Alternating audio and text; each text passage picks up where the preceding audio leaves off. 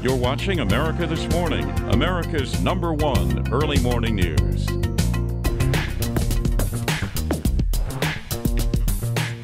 Welcome back, everybody. Time to check the pulse this morning and all the Super Bowl moments you'll be talking about today, beginning with the commercials. Which one was the best?